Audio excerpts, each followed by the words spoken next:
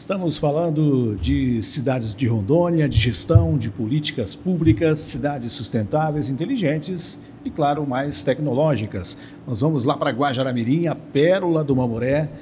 Nós vamos conversar com a prefeita Mari Graneman. Ela é do PL e ela é, assumiu os, a gestão do município em janeiro de 2024. Né? Praticamente um ano como prefeita. Né?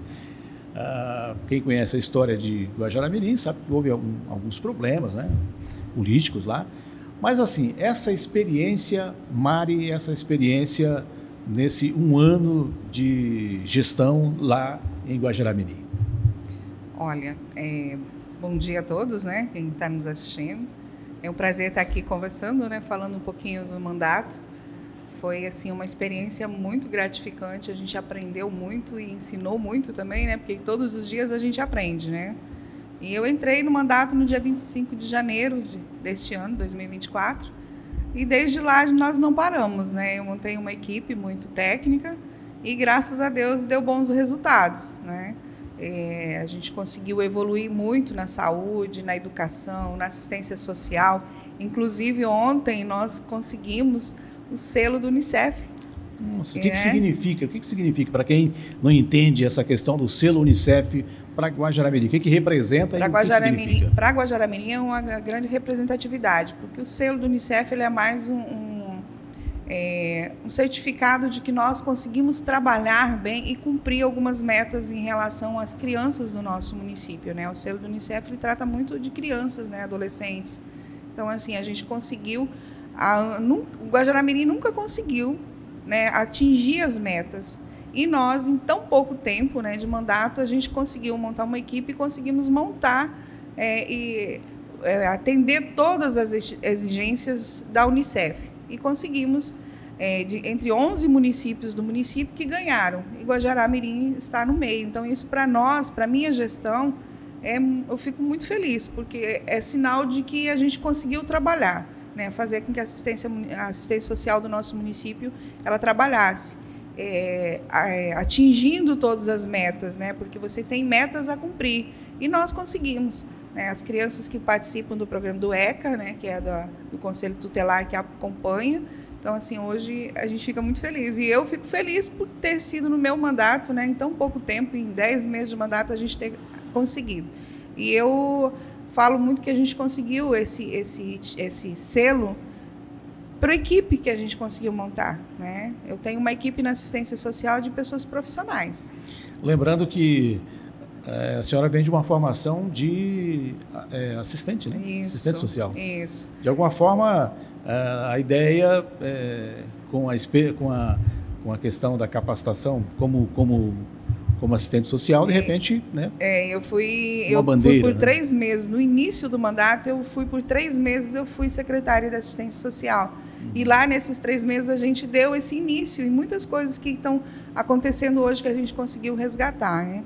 Então, a gente conseguiu aí através do governo do estado é, caminhonetes para o conselho tutelar, é, emenda, através de emendas parlamentares a gente conseguiu também comprar van para atender, né? Os programas né, para fazer as vigências rurais que a gente precisa também para bater as metas né, dos programas. Então, assim, eu fico muito feliz, porque graças a Deus a gente está entregando uma prefeitura redondinha e não como eu peguei. eu, eu falo para o prefeito eleito, né, o Netinho, que falei, Netinho, eu vou te entregar uma prefeitura mais ou menos redonda. Eu peguei quadrada, eu vou te entregar redonda. Qual, na, na sua opinião, pela essa, por essa experiência de 10 meses aí na, na prefeitura, é, de Guajará-Mirim. É, claro que eu, eu, considero um legado esse que é. você acabou de citar aí, uma dificuldade do município que nunca conseguiu, né, o selo do Unicef, mas que outros legados você deixa ali nessa gestão e que pode ser de bom, vamos dizer assim, de bom proveito para o Edinho, prefeito que assume em janeiro? Olha, é, quando eu assumi, nós tínhamos todos os postos de saúde eles estavam todos é, em, em, construção, mas construções paradas, né? Que foi, foi iniciadas as obras nos postos de saúde todos de uma vez, nas escolas todas de uma vez. E as obras dos postos de saúde estavam quase todas paradas. E nós, também com uma secretária de saúde muito técnica, né, a enfermeira Marlene, a gente conseguiu entregar todos os postos de saúde para a sociedade, né, para a população. Hoje nós temos postos de saúde que, que atende durante o dia e das 19 às 22 horas. Então, isso é um legado que a gente está deixando, é um novo projeto que a gente implantou no município. E o, assim, um legado que eu acho que assim, vai ficar marcado né, na, na minha gestão é realmente a saúde. Porque nós temos um hospital regional, Hospital Perpétuo Socorro do município, que estava totalmente destruído. Era, eu falo que era insalubre, né? O paciente entrava lá doente, é, doente e saía mais ainda, porque não tinha condições mais. E eu peguei como meta, uma porque na época da pandemia a gente, eu vi pessoas, amigos, saindo de lá dentro, entraram caminhando e saíram, né? Infelizmente Deus levou. E eu sempre tive esse compromisso com a saúde. Então eu peguei para deixar, né? Falei, eu vou deixar um marco no município, é cuidar da saúde. E nós estamos entregando hoje para o município, daqui a uns 20 dias, o hospital totalmente reformado hospital. Qual é a capacidade do, de, de atendimento do hospital? Hoje ela atende de, de leitos, você fala, eu acho, eu acho que a gente vai entregar aí com uns, em média aí de tanto maternidade, que a gente vai tirar, porque hoje a gente tem uma saúde terceirizada, né? É, para o Hospital Bom Pastor. Então, a nossa maternidade e o nosso a pediatria e a internação é terceirizada para um hospital lá. Então, eu quero devolver para o nosso hospital. Agora com condições. Com né? condições. Então, ó, a gente vai entregar maternidade, a gente vai entregar pediatria, centro cirúrgico, que faz muitos anos que está parado, né, que não fazia mais cirurgia no hospital regional, e a gente vai entregar todo reformado e com, e com cirurgias dentro do nosso hospital. Porque a gente está fazendo cirurgias eletivas hoje no terceirizado, no hospital terceirizado. Então, isso traz custos muito altos para o município. E isso afeta muito. Então, eu acho que a gente devolvendo a saúde, que sempre foi o SUS, para que terceirizar o SUS se nós temos todos os benefícios? E temos um hospital grandioso, uma estrutura muito grande. Então, hoje lá, a gente vai, acredito que a gente vai ter capacidade para atender mais de 100 pessoas lá dentro, né? É, entre maternidade, pediatria e clínicas médicas e clínicas é, de internação, a gente vai atender mais de 100 pessoas. É um investimento não tão alto, né? a gente está usando recurso de emenda parlamentar, recursos, recurso próprio, recurso do próprio Covid que tinha ficado, né? que a gente pôde utilizar. Então, a gente está usando esses recursos para entregar uma saúde de qualidade para a nossa população. Mais uma nós, última. Sim, sim. Nós também entregamos, inauguramos agora essa semana que passou, um laboratório municipal é, o, o, até fiquei assim emocionada com os funcionários que trabalham lá há anos, que eles sempre falavam: a gente não tem um laboratório aqui no nosso município. Um dia numa sala, outro dia num corredor, e assim eles foram vivendo anos e anos.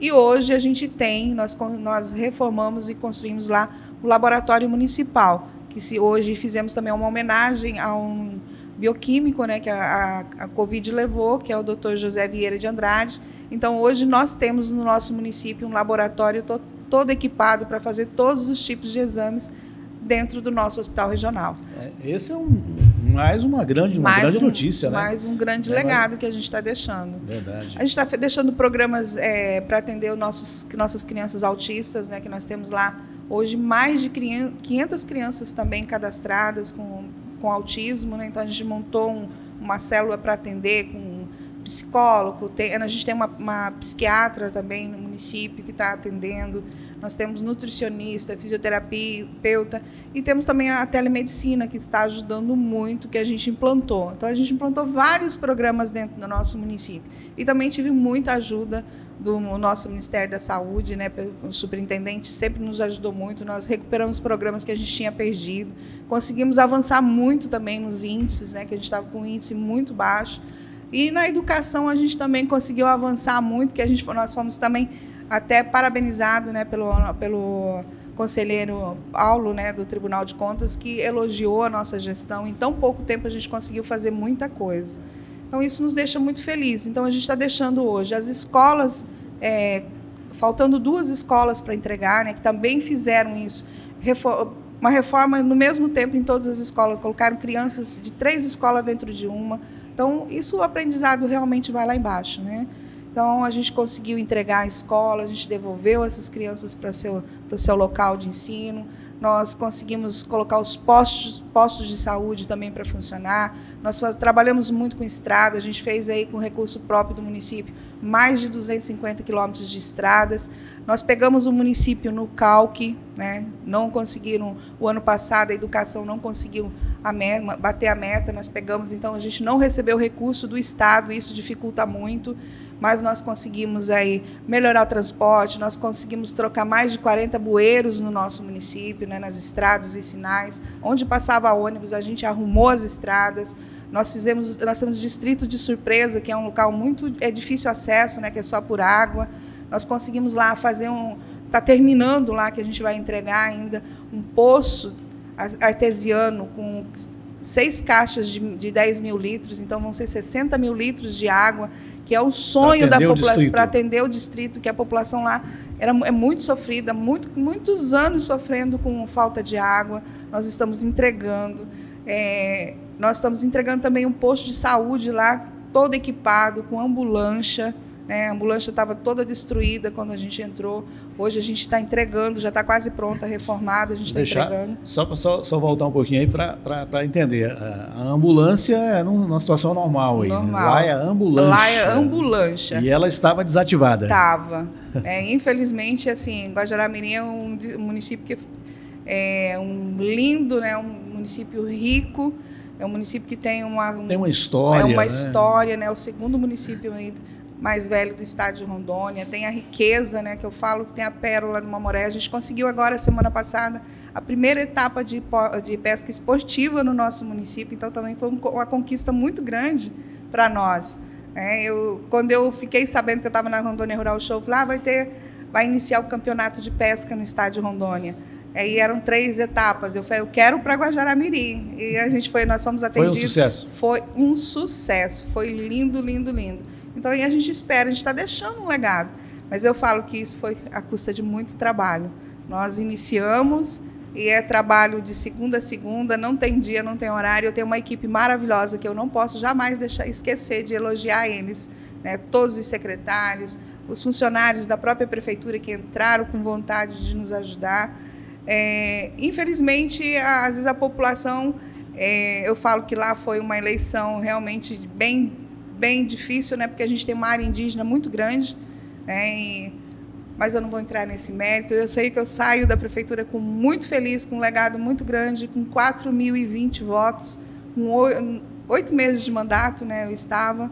Então, assim, é, eu acredito que eu deixei uma história, vou deixar uma história no município, é, um legado muito grande lá, com estradas vicinais, com asfalto, né? A gente fez pavimentação é, com calçada meio fio, que não tinha. Né? Então, a gente fez o que realmente a população precisa. E como se vem num projeto, a gente entregou para a população. Prefeita, é, parabéns, parabéns. Dez meses, você praticamente contou aí, é, uma, é quase que foi uma revolução aí política lá em Guajará-Mirim. Parabéns. É, ah, agora pensar no futuro, né? Pensar no, pensar futuro. no futuro. Falar o futuro a Deus pertence. É né? verdade. Parabéns. Obrigado por ter vindo bater esse papo aqui com a gente. Eu é que agradeço. Também quero, só quero contar um pouquinho. Nós temos lá acho que a história da Leveger, né? Que, é. Da Avenida Leveger, que todo mundo fala, todo mundo vai lá e promete que vai resolver a situação da nossa Avenida Leveger, que alaga, né? Todos os anos a água entra dentro das casas das, das pessoas. E nós estamos fazendo a drenagem. Então, se Deus quiser, ainda eu entrego essa drenagem da Avenida Levegé, 700 metros da Levegé, dentro do meu mandato ainda. Então, isso é mais um legado para a nossa, nossa gestão. E só gratidão a Deus, agradecer a vocês a oportunidade de estar aqui contando um pouquinho, né? E vamos lá. É isso aí. Eu conversei com a prefeita de Guajaramirim, Mari Graneman, ela é do PL, e ela conversou com a gente. A gente está aqui falando com os prefeitos do estado de Rondônia, uh, de política, de gestão pública, de cidades sustentáveis, inteligentes e tecnológicas.